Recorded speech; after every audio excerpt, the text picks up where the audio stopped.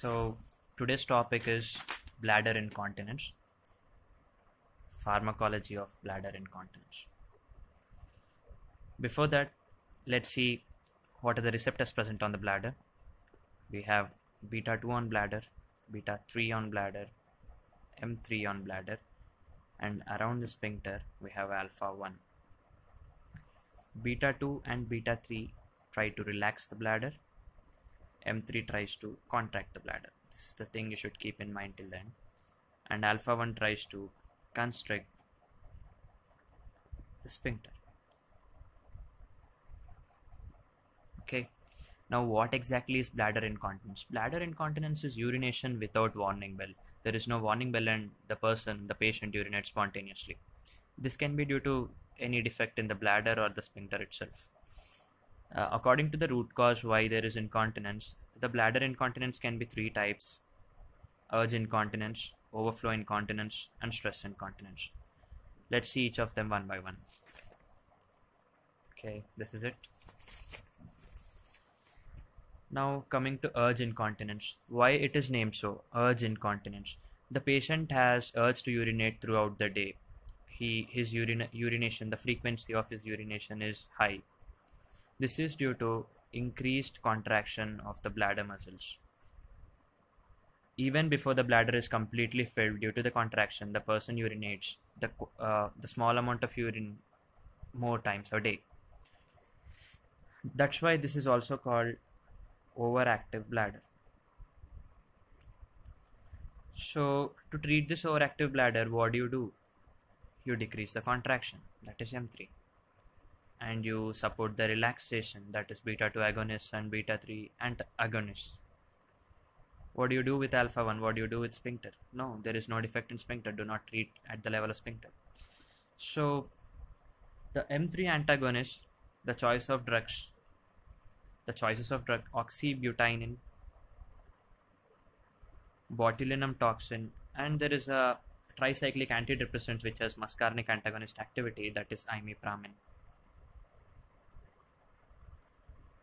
The choice of drug in class of beta 2 agonists is ritodrine, and in case of beta 3 agonist, the drug is mirabegron. Apart from this, direct smooth muscle relaxants can be given, like flavoxate, like drotaverine. So now we have a case where we have hypoactive bladder.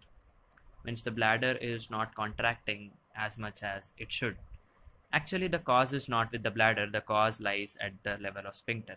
Due to uh, reasons like BPH and stricture at the sphincter level, the sphincter doesn't relax at all, and the urine keeps filling in the bladder. And the bladder is unable to overcome the pressure, the obstruction at the level of sphincter and its contraction is insufficient to overcome this obstruction. That's obstruction that's why the bladder is called hypoactive bladder. So this patient will have urination once or twice a day but that urination is in large amount overflow. So what do you do? Do you treat this at the sphincter level because the problem is at sphincter level? No you cannot treat the sphincter because the problem is around the sphincter. And even though you try to relax the sphincter there is no use because the obstruction is always there. That is the bph so here also do not try to treat at the sphincter level. Directly increase the strength of bladder by giving bethanechol which is M3 agonist.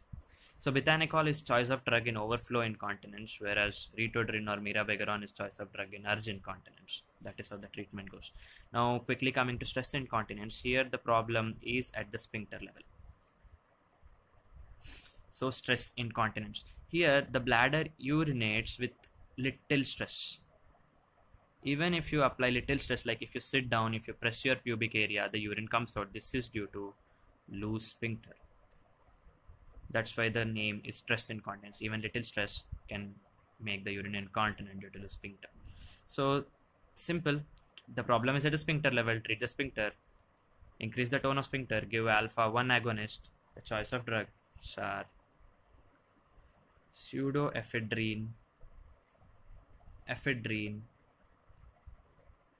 phenylephrine. There is also another treatment modality with imipramine, which is also used in urge incontinence. Here, imipramine is antidepressant which increases noradrenaline, which further acts on alpha 1 and increases its tone. And this stress incontinence is more common in females than males. So, another treatment modality is estrogen treatment, which is also treatment for stress, in, stress incontinence.